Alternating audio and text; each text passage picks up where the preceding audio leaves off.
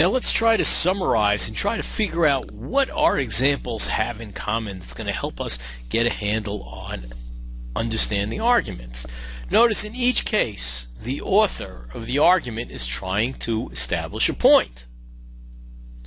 In the case of the Supreme Court decision, she, the, the letter writer was supporting the Supreme Court's decision. In the case of the death penalty, the author was arguing against establishing the death penalty. He, she, the author, provided reasons that were intended to support the point. I guess we could debate in the first case whether she was really providing reasons that were intended to support the point, uh, but she certainly was trying to be persuasive, trying to convince you of her uh, of her position. I don't think very effectively, but she was trying to do that nonetheless. So she was providing re- reasons, and the reasons and the points actually make up the argument. And if you think about it, that's how we come to conclusions about many things, come to our understanding of many things. And what this suggests is that there this suggests the three different parts of the argument. And they are you know at number one the author is trying to prove or establish some point or claim.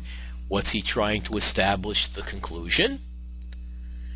Then there the reasons and the evidence and the points that the author cites to support the conclusions are the premises and the reasons and points with which the author is trying to establish a claim establish the claim combine to form the argument.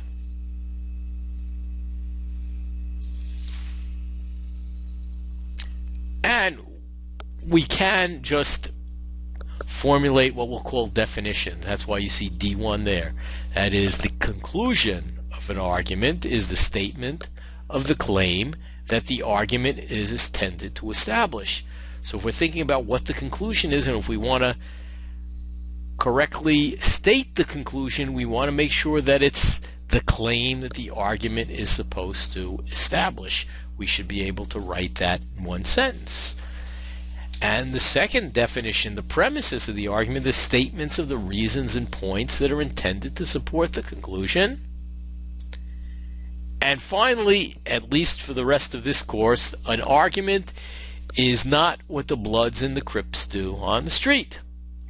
An argument, rather, nor is it what the husband and wife who are yelling each, at each other down the block are doing.